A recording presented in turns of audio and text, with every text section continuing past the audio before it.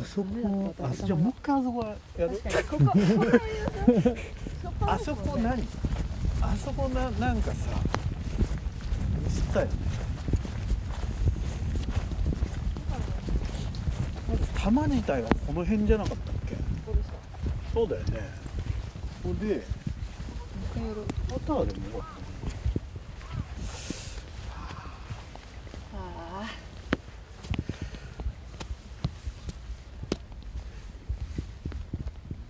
で結構右向いてたんだよね。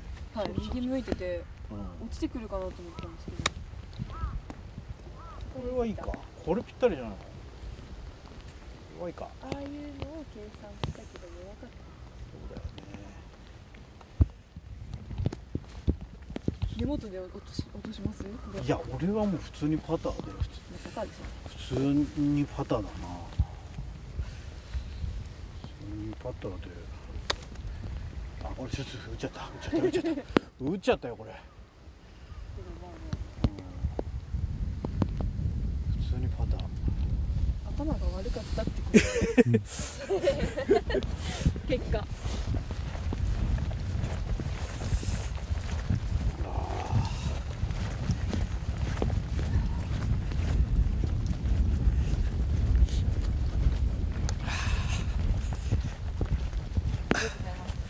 りがとうございました。じゃあ次。はい。じゃあ次の。どうするか。次。次4回目なんですけど次は優勝目指します。ちょっと頭をちゃんとリセットして マネジメントをうまくよくします。あ。もうちょっとねあのアプローチ遊んだ方がいいですよ。遊びます。帰はいって。ログしたり嬉しいないろいろあのババリエーションを増やすといいかも。はい。遊び感覚で、そうですね。と思いやっぱり前の人がああいうふうにやってると一人だけ違うやり方するのはプレッシャーがかかるんですか？うーんですね。なんかなんかそれでミスったミスったら何やってんのって言われるのが嫌だって感じ、しかもなんか流れの見えてるからうん。一人だけ違うことやるのね、ね。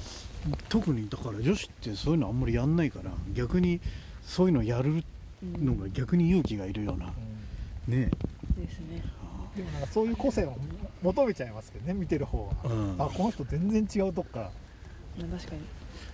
だからね今田龍二君とかのねアプローチとか見るといいかもわかんない。あ本当ですか？うん。結構。ちょっと突拍子もないこといろいろやるから、うん、へえ。そういうねちょっと押さんのがいいかもわかんないですはいもうあそこになった時は2人とももうこうするああするって結構アイデアがいろいろそうそうだから僕と塚さんが思ってるのは一緒。女女子の子たちがやってるのを見てえー、これそんな転がしちゃうんだみたいな。もっと上げた方が簡単なのにねみたいな、うん。うやっぱり運任せになってる感じがあるってことですよね。あそこの山では。ん、いやだからこうこの殻からこう抜け出せない的なここの殻の中でものを考えてもうちょっとこういう選択肢があるのにっていう。やろうとしないし練習もしてないのかなっていう感じ。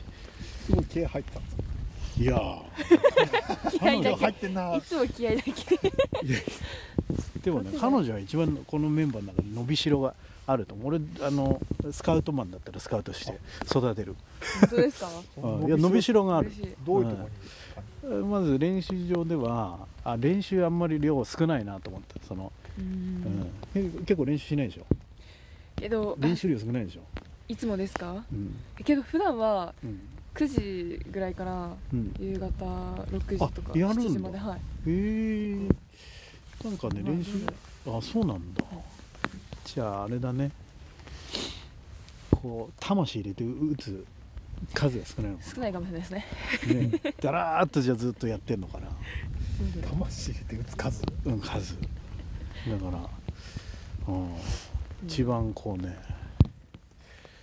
伸びしろを感じましたよ。嬉しいです